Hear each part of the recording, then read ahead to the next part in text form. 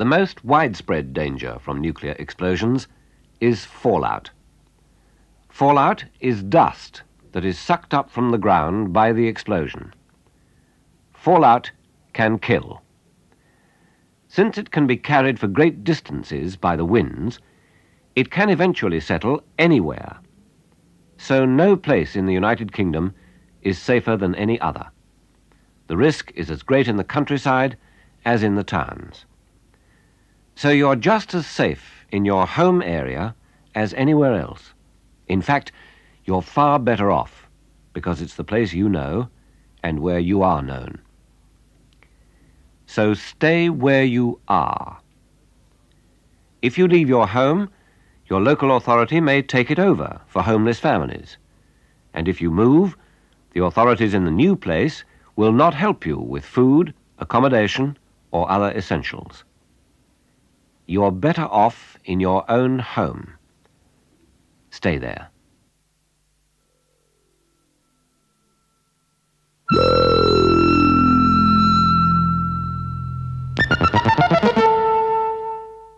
If you've taken the advice we've been giving you recently, you will by now have chosen your fallout room and gathered your materials for a refuge.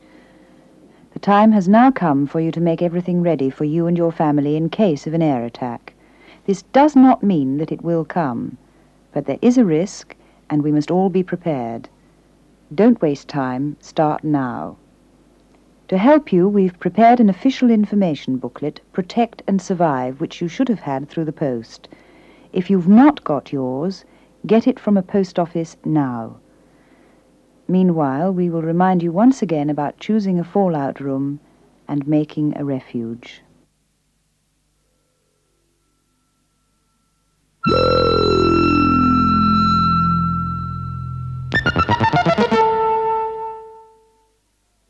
Some important information. The list we're about to give you appears in the official booklet Protect and Survive. If you have not got your copy of the booklet, you might like to get a pencil and paper and make a list of the items as we give them to you. While you're getting your pencil and paper, let us first remind you that fallout dust gives off dangerous radiation. It cannot be seen or felt. It has no smell. Anybody staying within reach of fallout for too long can fall ill or die. So you must keep away from fallout until it's safe and this may mean staying in your fallout room for up to 14 days. Prepare yourself for this now by storing all the things you're likely to need. Make a note and put them in your fallout room or stacked up within easy reach close by. Have you a pencil and paper? Here is a list of the things you should have.